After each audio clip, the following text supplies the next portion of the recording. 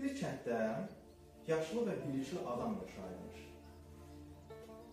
Çox yoxsul imiş, ancaq hətta kralın da həsəd apardığı bir atı varmış. Kral bu ata görə qocaya az qala xəzinəsinin yarısını təklif etmiş, ancaq kişi atı satmamışdı. Bu mənim üçün təkcə at deyil, bir dostdur. İnsan da dostunu satarmı demişdi qoca.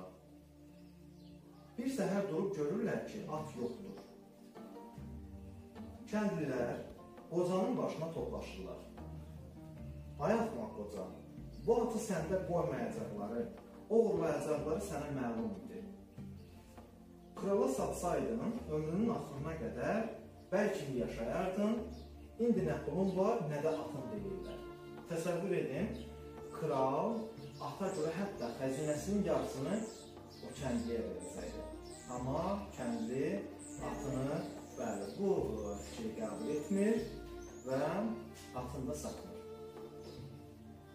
Qoca, qərar verməyə tələsməyin, deyir. Sadəcə, deyin ki, at itir, çünki həqiqət olan təkcə budur. Qalanları sizin fikrinizdir. Atının yoxa çıxması bir bədbəxtlikdir, yoxsa bir şansdır, hələ ki, bilə bilmərik. Kəndə qəhqəhə çəkib qocağa gülürlər. Aradan 15 gün keçməmiş qəflətən at qayıdıb gəlir. Demə, atı heç oğurlamayıblarmış. Öz başına çıxıb dağlara gedirmiş. Qaydanda da vadidən 12 vəhşi atı özü ilə bərabər gətirmişdi. Təsəvvür edin, 12 dənə vəhşi at bu atla birlikdə gəlir təzədən kəndə.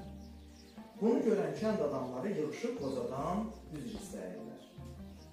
Yaxşı deyirlər, sən haqlı çıxdın. Atının yoxa çıxması bədbəxtlik deyil, sənin üçün sanki bir dövlət quşu oldu. İndi bir ilxın var. Qərar verməyə yenə tələsirsiniz, qoca deyir.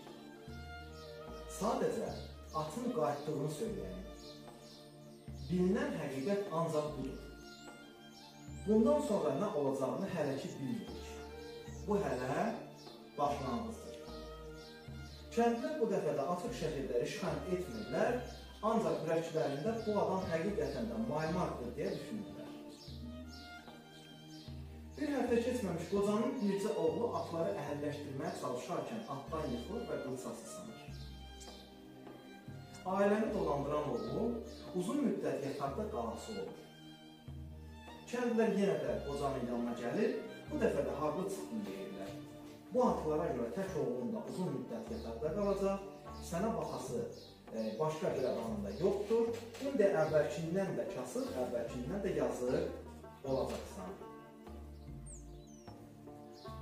Müdrik qoca, siz tez qərar vermək xəstəliyinə tutulmusunuz deyə cavab verir. Bu qədər tələsməyin. Oğlunun qılçası sınıb. Həqiqət budur. Qalanları sizin yozmanızdır. Fərziyyənizdir. Həyat belə hissə-hissə gələr və sonra nə olacağı öncədən bildirilməz. Yəni, e, o kəndlilər düşünmədən danışırdılar, gələcəyi bilməyə-bilməyə danışırdılar. Ona görə də doğru olmayan qərarı verirdilər. Tez qərar verirdilər. Aydındır? Bir neçə həftədən sonra düşmənlər çox böyük bir ordu ilə ölkəyə hücum edirlər. Yəni qocanın və həmin o şəxslərin yaşadığı kəndə ölkəyə hücum edirlər. Kral son bir ümidlə əli silah tutan hər kəsi səfərbər edir. Kəndə gələn məmurlar qocanın qılçası sınmış oğlundan başqa kəndin bütün gənclərini səfərbər edirlər. Təsəvvür edin, oğlanın qıçası sınıb, artıq o müharibəyə yararlı deyil. Aydındır, bu yerdədir, xəstədir, amma qalan bütün gənclər müharibəyə səfərbər olunur. Kəndi matəm buyur. Çünki bu müharibədə qalib gəlmək mümkün deyildi. Gedən gənclərin ya öləcəklərini, ya da əsir düşəcəklərini hamı bilirdi. Kəndlər yenə də qocanın yanına gəlirlər. Yenə də haqlı olduğunu təsdiqlən deyirlər. Ki, yenə sən düz dedin, haqlı çıxdın. Oğlunun qılçası sınsa da, heç olmasa yanındadır. Ancaq bizimkilər bəlkə də heç qayıtmadılar. Oğlunun qılçasının sınması bədbəxtlik deyil, əsli şansmış. Yəni ki, bunun oğlu ə, e, əgər qılçası sınmasaydı, müharibəyə gedəcəkdi. Bunun oğlunun qılçası sınması elə təsəvvür edirlər ki, güya şansdır. Yəni ki, artıq yataqda bəli müharibəyə getməyəcək və beləliklə, yəni müharibədə də ölməyəcək. Yəni bu anlama gəlir. Sağ qalacaq yəni. Siz tez qərar verməyə davam edin, qoca deyir. Bilinən bir həqiqət var ki, mənim oğlum yanımdadır. Sizinkilər əsgərlikdə. Bunların hansının bəxtəvərlik, hansının bədbəxtlik olduğunu kim bilər ki? Yəni həqiqətən doğrudan belədir uşaqlar. Məsəl üçün müharibədə olan hər hansı bir əsgər sağ qayıda bilər. Amma yataqda olan xəstə, qıçasına sınan həmin o xəstə anidən ölə bilər. Düzdür?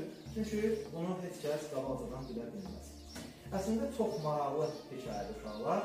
Buradan çox şey nəticə çıxartmaq olar. Sağ olsunlar. Kitab müəllifi hətta həmin o çıxarılan nəticələri də burada qeyd edib. Mən sizə, sizlər üçün oxuyuram. Yazır ki, bu hekayədən nə kimi nəticə çıxarmaq olar? 1. İnsanın bir hadisəyə dair tez qərar verməsi onun anlamaq bacarığını zəiflədir. Hadisələri tam şəkildə deyil, hissə-hissə dərk etdiyimiz üçün bir çox şeyi nəzərdən qaçırır. Həqiqətən elə uşaqlar, bax fikir vermisiniz, hər hansı bir hadisəyə münasibətdə biz qərar verəndə, tez tələsik də qərar verəndə, e, yanlışlığa yol vermiş oluruq. Bizdə anlama qabiliyyəti zəifləyir. Amma biz hadisənin təfərrüatı ilə ə, nə bilim izləyəndə, ona ə, belə deyim, müxtəlif nöqteyi nəzərdən yanaşanda biz artıq hadisəni tamamilə anlayırıq və düzgün, bəli, doğru qərar vermiş oluruq. Sonra bu da yazır, hər şeyin zaman keçdikcə mütləq nəticəsi olacağını göstərir. Təbii ki, bütün hadisələrin biz qərar ver, versək də, düzgün qərar versək də, yanlış qərar versək də sonunda nəticəsi olur. Təbii ki, burada da yazır, bütün hər şey zaman keçsə mütləq nəticəsi olur. Yəni bunu da yəqin ki, başa düşmüş oldunuz. Çox maraqlı bir kitabdır. Mömin Sekmanın Hər şey səninlə başlar kitabı. Sizə də tövsiyə edirəm. Yəni ə, şagirdin həyatını dəyişə biləcək qədər qüdrətli, güclü bir ə, kitabdır. Ə, ümid edirəm ki, siz bu kitabı